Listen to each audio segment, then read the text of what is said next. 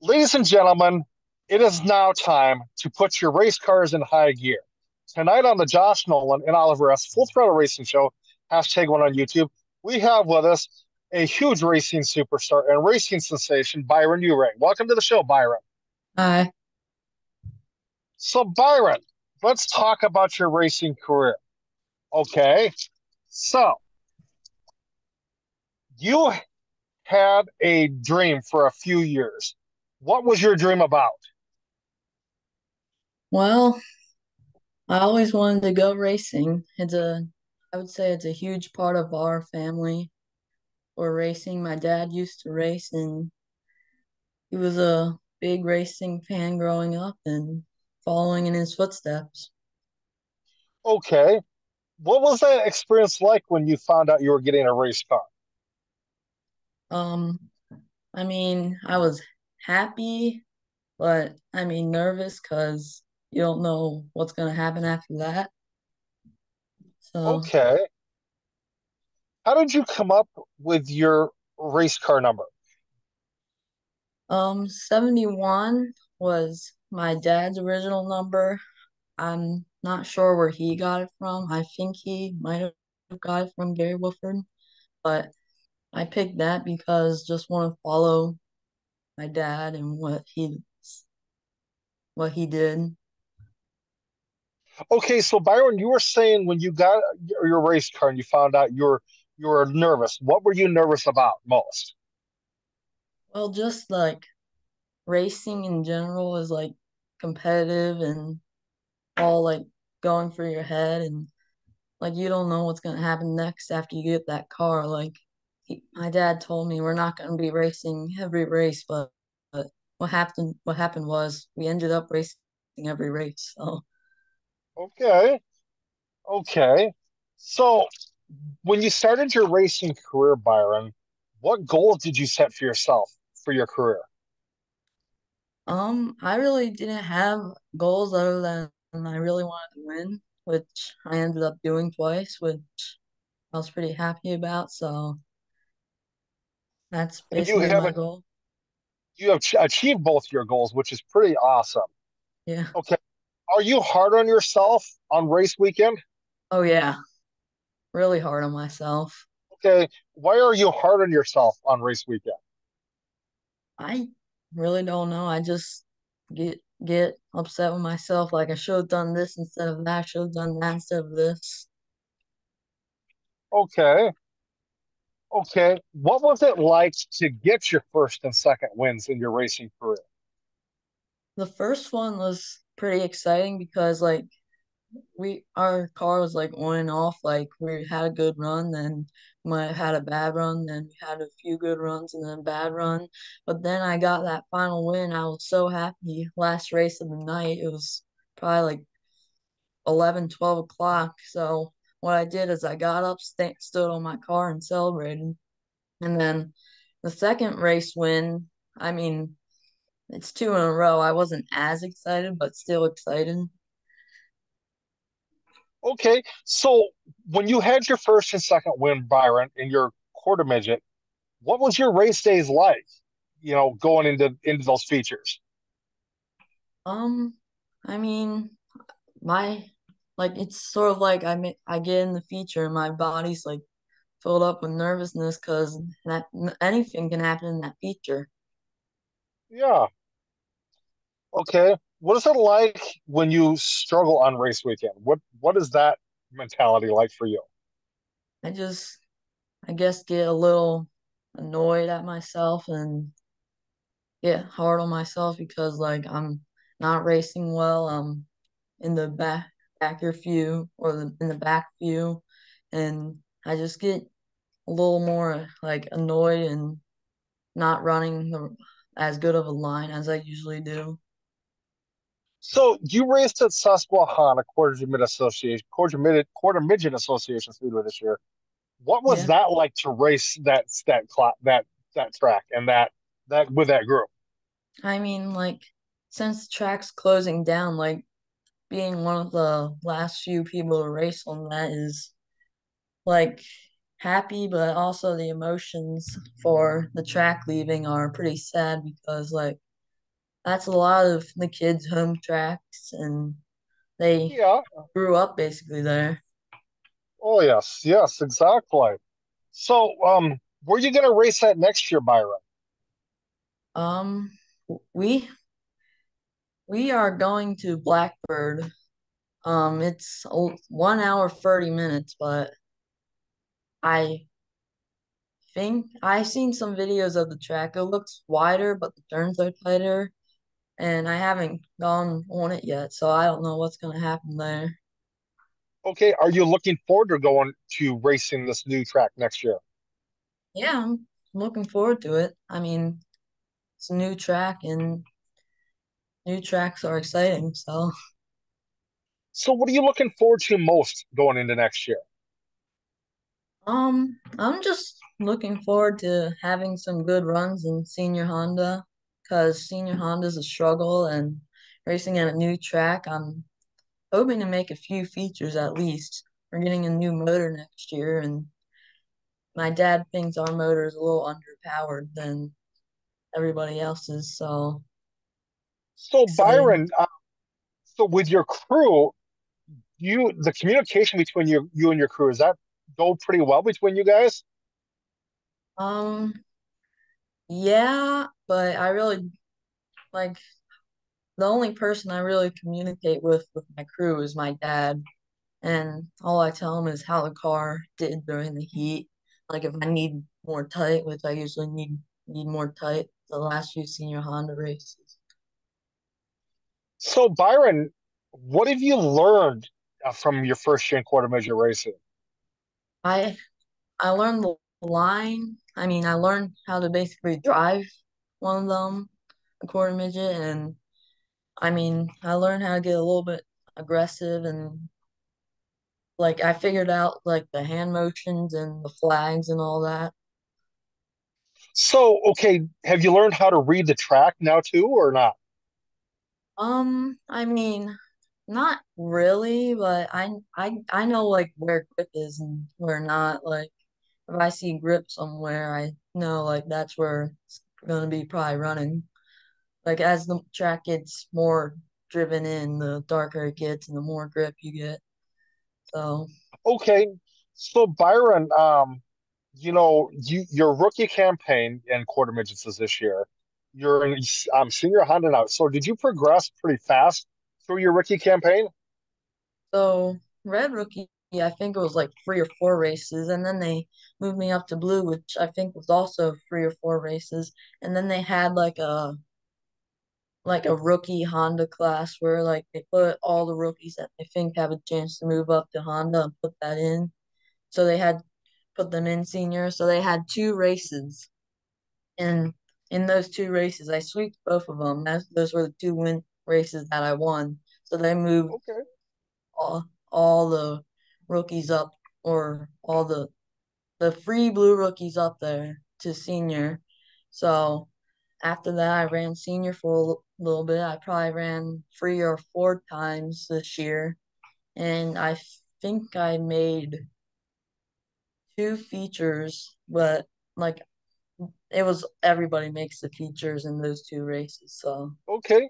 So what is your long-term goals with your racing career, Byron? my long-term goal is to make it NASCAR or make it World of Outlaws or and I just want to be racing for a long time. Get Okay. maybe race until I'm 50, maybe. I don't know. Okay, okay. So Byron, you know, it's pretty cool to have you on this racing show, talking to you about your racing career. Um, so, you know, as kids come into this sport, what could you kind of say to kind of help motivate them to, to get into a race car and motivate them with their racing careers? So about that is like in the rookie classes, you can see some kids get in the car and they're just crying because they're scared. And I'm just gonna say you should just go for it. And when when I get out on that track, all the nervousness all the nervousness goes away and it turns into racing.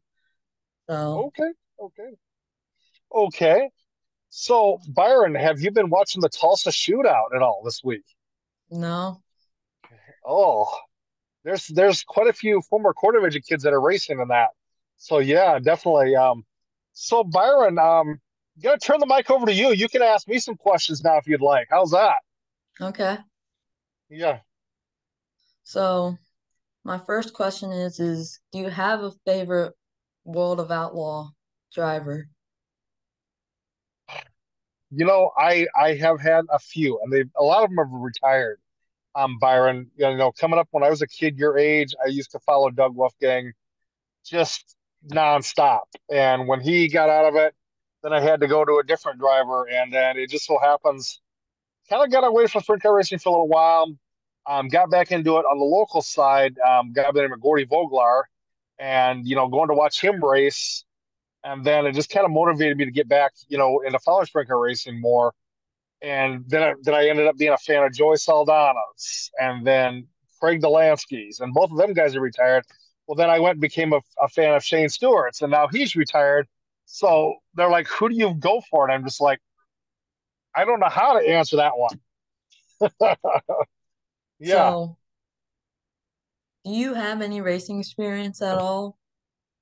Um, I don't. I've been I was a racing fan for 30 plus years, and that's kind of how I got into being a racing host. Is I had a friend of mine that's a race car driver, and his son uh, races go karts, and they kind of were like, just like, let's give this a shot. Okay, so we started with 38 viewers, and then just progressively moved up the ladder, and it's just really phenomenal to do this for you kids and young adults.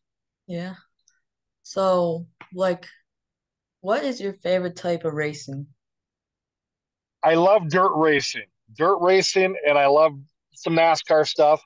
Back when I was growing up, Byron, you know, I'll tell you, back when I was growing up, NASCAR wise is not what it used to be when I was growing up. Back when I was growing up, they threw the green flag, no stage race. It was just like going nonstop until that green flag dropped.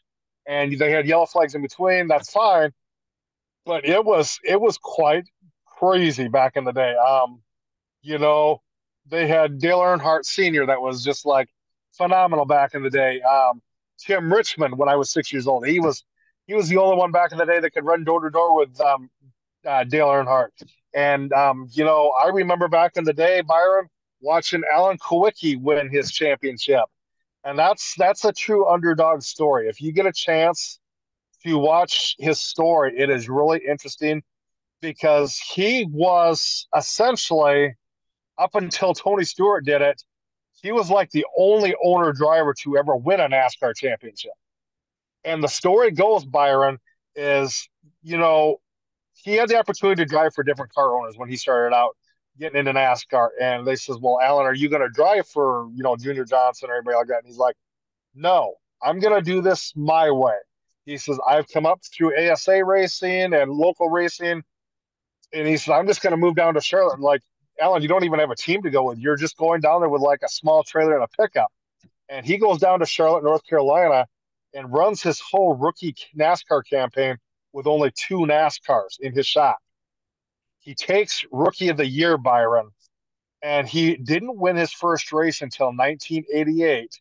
And uh, they asked him, they says, "Well, you know, Alan, you ever win a race? What's what's your gonna what's your celebratory gonna be like?" And he says, "You know, um, I'm my heritage is I'm Polish, so said I'm gonna do a reverse victory lap around the track and call it the Polish victory lap." Okay, so 1988 at Phoenix, he wins the race, his first race, and he does this reverse victory lap. Well, then, you know, everybody's like, you know, Alan, you know, chances of you winning a NASCAR championship are it's not going to happen. And he's like, you know, just have a little faith in me. It's it it it, it can happen. We'll see what happens. Well, going into the 1992 NASCAR season, Byron, he had a sponsor for two races and two races only. And they says, well, you know, we're going to see how you do, but after these two races, you know, if we don't think you're capable of it, we'll pull our name off the car. Well, after two races, he was having an up and down season. They're like, we'll just stick it out. Well, crazy enough, Byron, the story goes is the year he won the championship, there was four guys vying for that championship. Ernie Irvan, Davey Allison, Bill Elliott, and Alan Kulwicki. Ernie Irvan and Davey Allison got taken out in a, in a wreck on the track. So that got down to Bill Elliott and Alan Kulwicki. Alan Kulwicki's crew said to him, Alan, if you want to win this championship, you have to lead the most laps. So on fuel fuel mileage, he stayed out on the track for an extra one to two laps and got a five to ten point advantage and won the championship by a mere five to ten points. Yeah, I mean, I agree Yeah. that NASCAR isn't as good as it used to be because now you Yeah. have the playoffs instead of the chase, and in the chase, like Yeah, it wasn't just four drivers that could win. Like basically any driver in the chase could yeah, win. So yep, yep. you said And- like Yeah, go ahead. Go ahead, Byron. said like that you've been a racing fan for 30 years. Is that the only thing that encourages you to have like a racing show? Um, no, you know, it's just working with all of you drivers and stuff like that, and the passion for the sport. Like I said, I've been passionate about the sport since I've been six years old, and it's just been my mom and dad have always said to me, you know, Josh, that's all you do is eat, sleep, and breathe racing. Do something with it. And I was like, yeah, whatever. So I had friends of mine that just said, you know, let's go with it. And I says, okay. So we just went with it, and it just took off. As yeah, yeah, So yeah. You, if you have a passion to do something, think, go with that passion and go with it. yeah. Yeah. Well, I've been told that I have a passion for racing, and I guess my dad decided, hey, we're gonna go for that. So got me Yeah, this quarter midget, and now here I am. yeah, yep. And you know, Byron, I have dealt with the likes of you kids since 2018. I love going into the pits, talking to drivers, talking to them about, hey, how's their race weekend going, and stuff like that. And it's just kind of phenomenal to sit down and talk to you guys and find out your stories. Yeah, Yeah, I mean, yeah, makes sense because like you just love talking to the kids and about what their racing career is going with right now, I'm assuming. yeah. Oh yeah, yeah. And Byron, um, you know, you know, question I have for you is, do you ever watch the Indy 500 at all? No, I don't. I mean, I don't know where you where you would be able to find it on streaming. It's on. It's it's on. Um, if you have TV, you can find it on ABC or NBC, but um, you can find it on YouTube even. That race is just phenomenal all on its own, Byron. And I'll tell you what, you ever get the chance to race the Indy 500, it'd be worth the while to do that. And I would be extremely proud of you for doing that. You know, I'm extremely proud of you as a race car driver right now, but you know, to to see you race the Indy 500, I can say I know that guy. I know that guy. I had him on my racing show. And, you know, crazy enough, you know, Byron, one of the guys I looked up to as an IndyCar driver, and I he could do things on an on an oval track that just you're just like, wow, I can't believe this guy is doing this. My favorite IndyCar driver was Dan Wheldon. Wheldon, just phenomenal. Have you ever heard of that name at all? Um, I'm not sure if this is the right person, but I think didn't he pass away in a car? Yep, at Las Vegas back in 2011. But leading, but leading up to that, um, you know, he had some pretty interesting stories himself. Byron, you know, race car drivers they collect things. I know you probably collect things too. Um, his collection was instead of collecting like die cast and helmets, he was a really weird driver, and you could say, "Man, I can't believe this guy is doing this." He actually collected Byron new pairs of tennis shoes because he hated dirty pairs of tennis shoes. He hated it and they says, "Well, Dan, why, you know, you hate dirty pairs of tennis shoes? How many pairs of tennis shoes do you have in your closet?" And he says, "You know, ever since I've been a kid, all the way up until now, you know, I've collected shoes." And he, they says, "Well, how many pairs do you have in your closet now?" And he says, "I have over, I have over 300 brand new pairs of Pumas in my closet." Well, that's that's a weird thing to collect. yeah, yeah, and and he was, you know, when it come down to it, Byron, he was there to inspire you guys as race car. He loved being about the fans. Even if he had to be late for a driver's meeting, he's like, you know, I spend the time with the fans. If I'm late to the driver's meeting, so what? And when he went and won his last Indy 500, crazy enough, Byron, his wife says says did an interview and she says, you know, it was really quite crazy year. Dan had been let go by Panther Racing, and they says he had offers to drive for different teams, but he turned around and said to his wife, he says, "You know, Susie, I am not going to commit to a team unless I'm cap- the team is capable of winning. And she says, okay, so what are you going to do? And he said, well, I'm going to take that time to spend with you and the kids because I have two little boys. And she says, okay. So lo and behold, Byron, Bryan Herta and Sam Schmidt got a hold of him and says, you know, Dan, we have this opportunity for you to race the Indy 500, and this car is capable of winning. We're going to make sure you have the best crew. And he's like, really? And so he committed to it, driving the number 98 William Rast Big Machine Records Indy car. And he hadn't led a single lap in the whole race. He had finished, he was running third. Well, on the final lap, coming out of corner four, the guy that was leading was the new driver that took over for him at Panther Racing. He went too wide into corners three and four and hit the outside wall. Well, Dan threaded his way through lap traffic in the car that was smacked in the outside wall and won the Indy 500 on the last lap. That's a miracle. Yeah, it is. And you know, Byron, um, to win the Indy 500 is something prestigious. It is something that you know you can look back on your career and say, "Man, I can't believe I've accomplished this." It it is something totally awesome. Um, I've I've known people that have worked for IndyCar teams and said, you know, it's a phenomenal experience. Um, what's really quite quite crazy is your whole month of May because you have to be in Indianapolis for a whole month.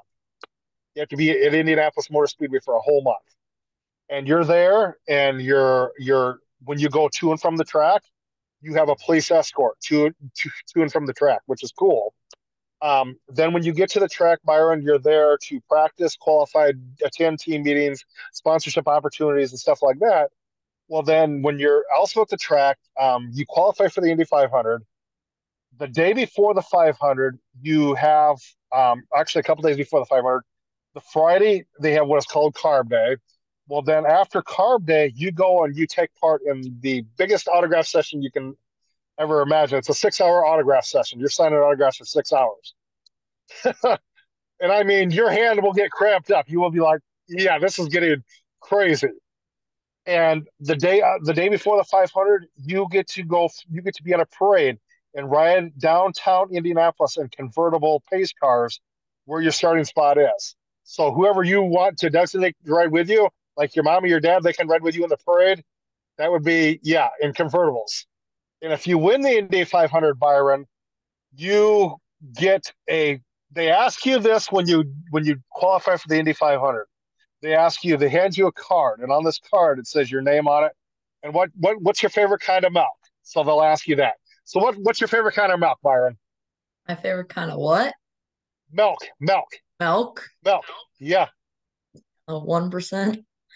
Okay, so you'll put down one percent milk because when if you win the Indy 500, you get presented a frosty, ice cold glass of glass bottle of milk, and you get to take two sips of that, drink it, dump it all over your hat, whatever, and then you get um, a winner's wreath that comes gets around your neck, and then also, then Byron, you get some huge grand prizes.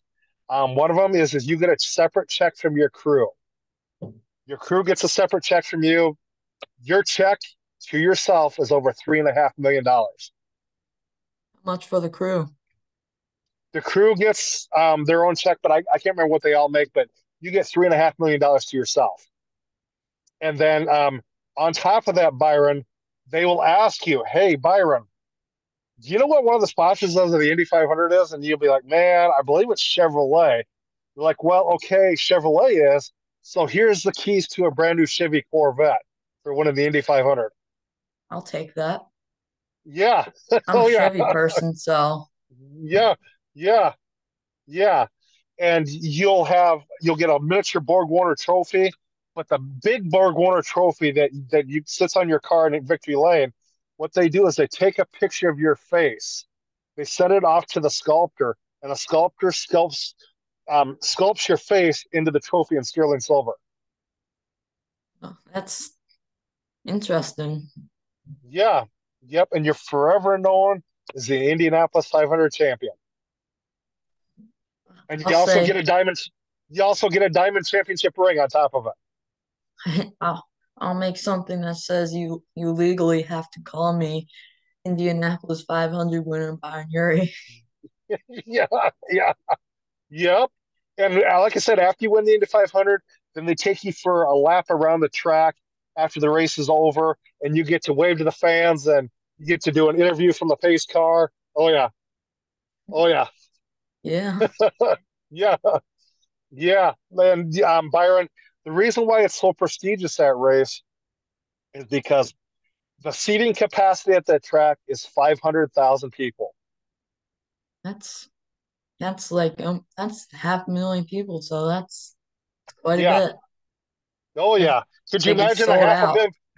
Could you imagine a half a million people coming to watch you race? The pressure will be on. Yeah, exactly. Exactly. Exactly. Yep. Exactly. And your Indy cars at Indianapolis Motor Speedway, Byron, I kid you not, on an oval track that size, you cover a football field a second. 240 miles an hour. Can you imagine going that fast? No, I don't want to. And what's really cool, Byron, is your Indy car, you know, your steering wheel of your race car, that's that's your steering wheel. In your Indy car, when you get ready to go out there and do a test session with it, or when you get picked up by a team, your steering wheel is, is something all on its own because everything that is in your laptop of your computer is in that steering wheel. Yeah. I mean those You have a you have a switch on your steering. Yeah, go ahead. the Formula One steering wheels and the um IndyCar steering wheels are definitely high technology wheels Or You have a you have a you have a switch on your steering wheel, Byron, that controls the air conditioner in your helmet. You have an air conditioner in your helmet. oh I Can you believe that? Can you believe that? I want Then you that have another regular then you have another then you have another switch in your IndyCar helmet that you can pump that that can pump cold water into you, into you through a straw through the front part of your helmet all day long. Well, that that's high technology stuff. Oh yeah, and then the other the button on the steering wheel is you can press that when you come in the pits, and when you come into your pit stall, it automatically jacks your car up off the ground so they can change tires. I wish you could do that with my quarter midget. Just Yeah, come in and make an come in, make a adjustment or something. We need a jack. Oh, boop. yeah.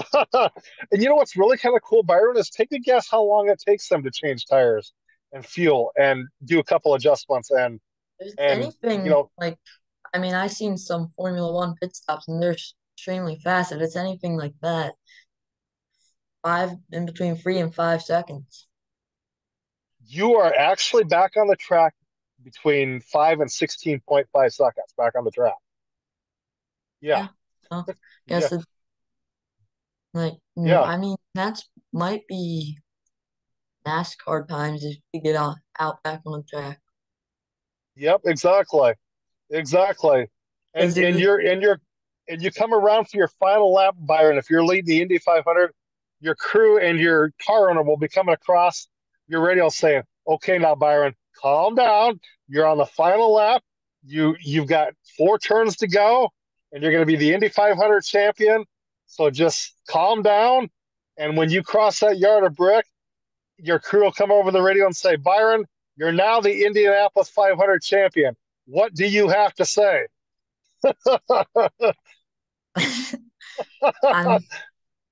I mean like just all they have to tell me is hey you're 14 seconds out front and I'll be good.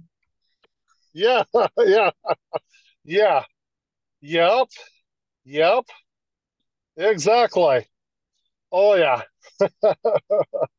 And a lot of drivers, when they get into victory lane, they start crying because it's it's a huge monumental experience. I don't think I'll get that emotional. I Yeah, There are yeah, NASCAR drivers that cry over a NASCAR Cup Series championship and yeah, yeah. uh So, do you have any other do you have any other questions for me, Byron? um no, can't think of any. Oh, okay. So, Byron, do you have a racing page that the racing fans can follow you on? Um the Byron Your Racing page on Facebook. Okay, and are you presently looking for sponsors going into next year? Yes. Okay, so go hit up Byron Urey Racing on Facebook. Um, he and because he would appreciate the sponsorship on his race cars as he gets further into his racing career. So reach out to Byron and his family there. Also, ladies and gentlemen, go press like on that page there because Byron would appreciate the racing fans as he gets further into his racing career. Yeah, definitely will. Yes, yes. So before I let you go, Byron, do you have a racing nickname? Not yet, but one of my my probably will end up being Flipper because I flipped this year. And also, I just want to say if my sponsors see this, thanks to all of them. Thank you very much, Byron, for being on the racing show with us tonight. Um, I will let you step out, Byron. I will call you in a few minutes to thank you in person. Um, but it's been our pleasure to sit down and talk to you tonight. It's been a pleasure to talk to you. Yep. Thank you very much. Thank you. Yeah. You're welcome. Yep. Yep. Okay. I'll let you step out now, Byron. Okay. Okay. Bye.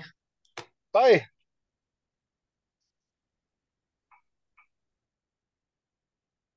Ladies and gentlemen, that was Byron Urey, um, quarter midget driver at Susquehanna Speedway. He's picked up two wins this year.